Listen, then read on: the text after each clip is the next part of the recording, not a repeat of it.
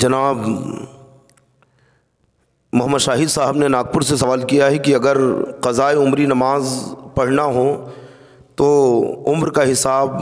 کب سے لگانا ہوگا جبکہ میری عمر بیس سال کی ہے؟ جناب شاہد صاحب، جب سے آپ بالغ ہوئے ہیں، تب سے لے کر بیس سال کی عمر تک کا آپ حساب کر لیں کہ کتنی نمازیں آپ کی رہ گئی ہیں اور اس حساب سے آپ اپنی قضا نمازیں ادا کریں۔ اور اگر کسی کو یاد نہیں ہے کہ وہ کب بالغ ہوا، تو لڑکا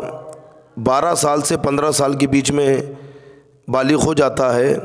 لہذا چودہ پندرہ سال کی عمر سے حساب لگا لیں اور جس عمر کا وہ ہے،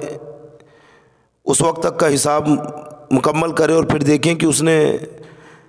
کتنی نمازیں پڑھی ہیں اور کتنی نمازیں چھوٹی ہیں۔ لہذا پندرہ سال سے حساب لگا کر پندرہ سال کی عمر سے آپ حساب متعین کریں اور جتنے سالوں کی آپ کی نمازیں چھوٹی ہیں، اس کا حساب آپ تیار کریں اور اس حساب سے اپنی قضا نمازیں ادا کریں۔